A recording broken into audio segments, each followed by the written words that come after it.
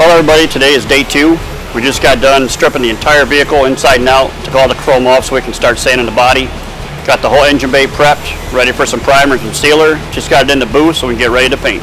So now you're in the loop on the process, uh, what it takes to start a 30-day build like this.